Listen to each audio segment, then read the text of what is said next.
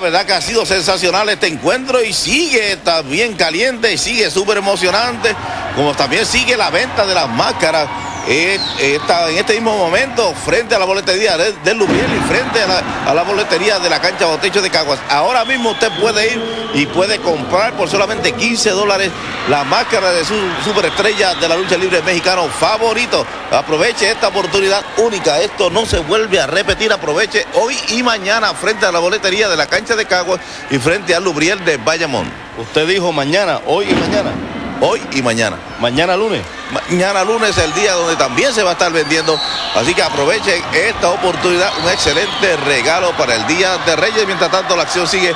Mientras Shane viene de todo lo alto con un tremendo codazo. Una, dos y por poco más se lleva la victoria. La verdad que estos señores aquí no ha habido un segundo de descanso. No ha habido llave, no ha habido nada que haya detenido el impulso de estos dos hombres que han dado campana a campana, intercambiando lances y golpes.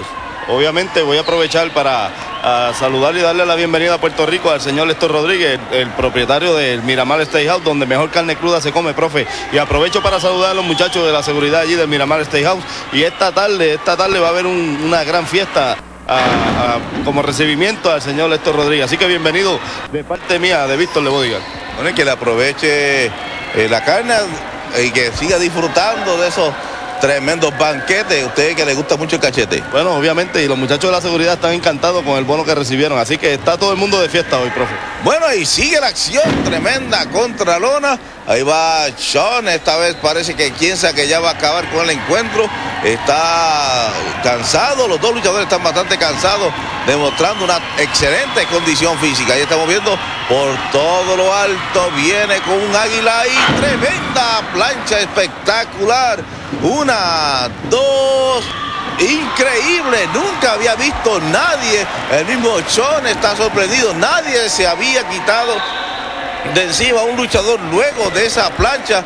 Él mismo no lo puede creer. El conteo tenía que ser de tres. Obviamente pasó algo con el árbitro, no contó como tenía que contar porque nadie se levanta después de esa impresionante plancha. El hombre que la hace a la perfección. No he visto a nadie hacerla como Sean Morley. La verdad es que esta gente se trae muchas ganas y sabe Dios lo que puede pasarle aquí en adelante ahora, profe. Lo que pasa es que cuando se conocen muy bien, saben cómo contrarrestar o cómo eh, poder soportar más el castigo. Ellos tienen que haber practicado muchas ocasiones y parece que Shane pudo obtener la fórmula de que no fuera tan efectiva esa, esa plancha. Y viene, uy, tremendo golpe, patada. Ahí estamos viendo un suplex olímpico con, con una captura, una, dos, dos, solamente dos, señores. Esto es un súper, súper, súper luchón que estamos presenciando. La verdad es que tengo que admitirlo, yo nunca había visto un encuentro de esta magnitud, donde se tienen tantas ganas, tantos deseos de derrotarse uno al otro, y la verdad es que aquí están logrando su objetivo, profe.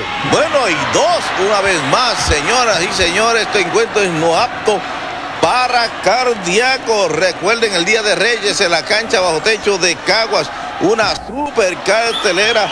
El día de Reyes, Rey González se enfrenta a Piero por el campeonato universal. En lucha muerte, Carlos Colón se enfrenta al sucio Dos Pantera. El inmedio de Ricky Santana se enfrenta al villano tercero y al tejano.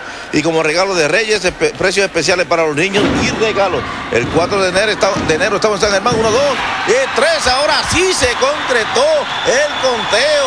Ganador del encuentro.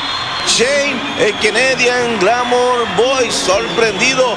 La verdad que la fanaticada contenta y entusiasmado le ha entregado mucho cariño a este joven que acaba de derrotar a su ex compañero que estuvo diciendo que él era el pilar grande, que él era el hombre fuerte, que él era el principal de la pareja. Bueno, pero usted vio que tuvo que aplicarla tres veces porque no pudo derrotarlo ni en la primera ni en la segunda. Fue de la única forma que lo derrotó, tengo que admitir que fue así, pero las cosas no se quedan ahí, profe. Así que las cosas siguen para largo. Bueno, ahí estamos viendo, la celebración es oficial. El ganador de este encuentro, Shane, el Canadian Glamour Boy.